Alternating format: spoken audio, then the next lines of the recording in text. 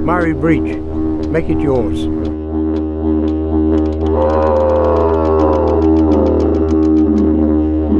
We're here to celebrate the 50th anniversary or birthday celebrations for the Mulyawonk. The Mulyawonk was originally a man and he was fishing on the river and setting too many nets, catching too many fish. And the elders and the camps further downstream, the people couldn't catch any fish.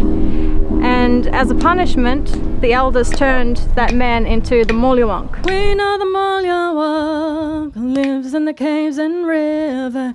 He watches and he waits for the ones that he can take. Remember the ancient ways of the river and It's good to, to get our stories out there, the Aboriginal stories, the creation stories, the stories that got morals to them. It's not just a story, it's a story to keep people safe.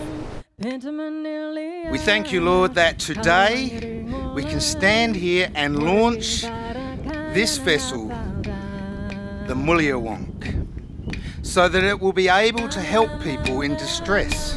It's extraordinarily important because we know that the SES here keep South Australians safe uh, as they enjoy this beautiful part of the world.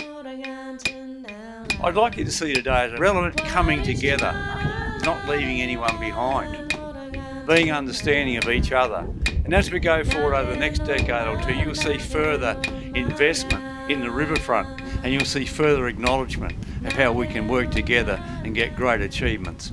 Happy birthday to you. Happy birthday, dear Bunyip. Happy birthday to you. Thanks, folks.